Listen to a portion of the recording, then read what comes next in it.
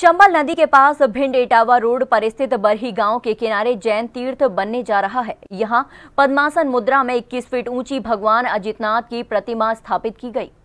Bhind Etawah road पर स्थित बहरई गाँव के किनारे चंबल नदी के पास जैन तीर्थ बनने जा रहा है। यहाँ पद्मासन मुद्रा में 21 फीट ऊँची भगवान अजितनाथ की प्रतिमा स्थापित की गई है, जो कि 37 फीट ऊँचे चबूतरे पर विराजमान है। ये प्रतिमा ज़िले की सबसे ऊँची जैन प्रतिमा है। इसके चारों ओर 24 तीर्थंकरों की सवा सवा तीन फीट ऊँची प्रतिमाएँ वेदी पर विराजमान है। जैन तीर्थ में जैन मूर्तियों को रूप देने का कार्य जयपुर के कारीगर कर रहे हैं।